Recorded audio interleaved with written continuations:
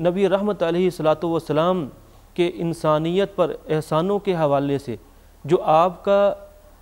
तस्वुर अखुवत है, एक तो जो इंसानी रिश्तों के हवाले से आपने हकूक़ बयान फरमाए हैं कि एक इंसान का दूसरे इंसान के साथ जो है वो जो ताल्लुक़ होता है, उस ताल्लुक़ के अंदर गैर मुसलमों के अलग से हकूक़, मुसलमानों के अलग से हकूक़, हमसायों के अलग से हकूक़ ये सारी चीज़ें आपने डिफ़ाइन कर दी, वादे कर दी सारी इंसानियत की असलाह के लिए। और दूसरी बात कि नबी रहमत सलाम ने इंसानियत के लिए हदायत की राह जो है, वो जो सबसे अहम चीज़ है, जो अल्लाह रब्लमीन ने